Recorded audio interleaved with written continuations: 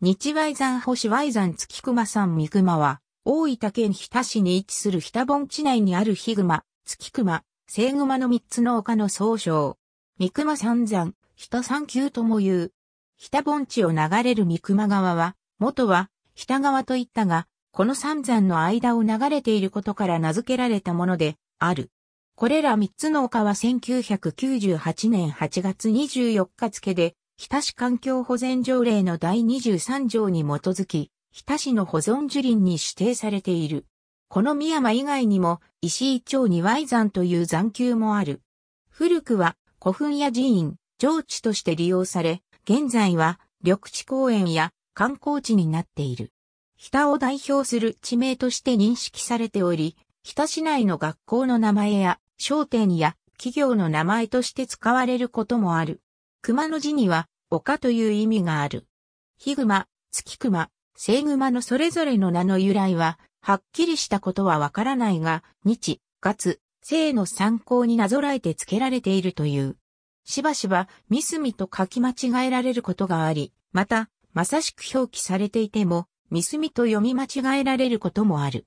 新生代第4期更新よ、北盆地には、標高400メートルから1200メートルからなる、筑紫溶岩系の安山岩で形成された古希溶岩台地があり、この溶岩台地には、ヤバ系溶岩と呼ばれる標高200メートルから400メートルの新規溶岩台地が含まれている。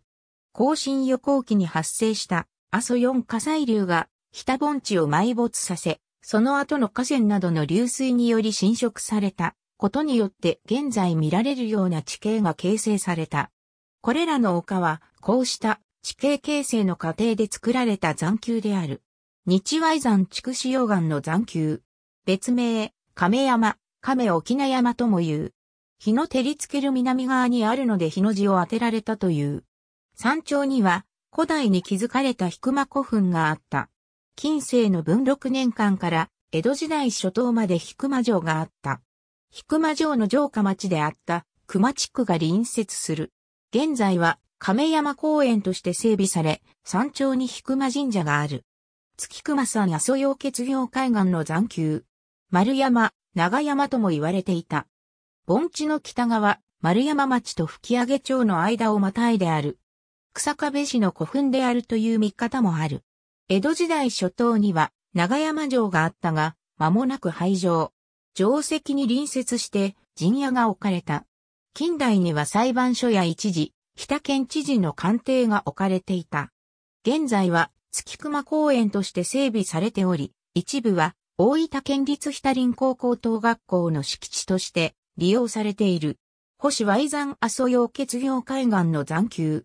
友田町、三郎丸国道386号線沿い、花月川と三熊川の合流地点にある。丘には星熊横穴母群があり、付近には三郎丸古墳がある。